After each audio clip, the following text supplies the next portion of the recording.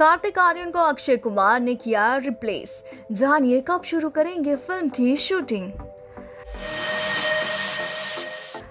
कार्तिक आर्यन को हाल ही में दोस्ताना टू से बाहर का रास्ता दिखाया गया था। कार्तिक के फ़िल्म से बाहर होने के बाद से मेकर्स फ़िल्म के लिए नए चेहरे की तलाश कर रहे थे। ऐसे में खबर आ रही है कि फ़िल्म में कार्तिक की जगह करण जौहर अब अक्षय कुमार को लेने जा रहे हैं। एक्टर ने फ़िल्म के लिए हाँ कह दी है और 2022 में शूटिंग शुरू होने की उम्मीद है। हालाँकि फ़िल्म के मेकर्स की तरफ़ से इस बात की घोषणा नहीं हुई है कि वाकई अक्षय को फ़िल्म के लिए साइन कर लिया गया है या फिर नहीं।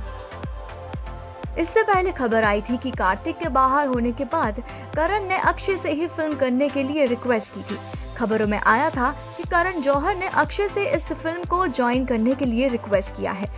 जिसकी शूटिंग पर ऑलरेडी काफ़ी पैसे खर्च हो चुके हैं।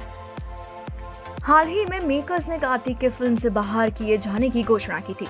जानकारी देते हुए लिखा गया था कि कुछ प्रोफेशनल सिचुएशन के कारण हमने तय किया है, हम इस पर कुछ भी अभी नहीं बोलेंगे।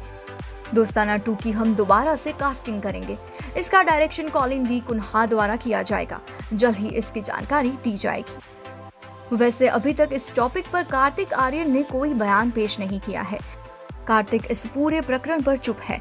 हालाँकि फ़िल्म से कार्तिक के बाहर होने से एक बार फिर से करण जौहर लोगों के निशाने पर है। सोशल मीडिया पर फैंस ने इस बात पर करण पर जमकर निशाना साधा है।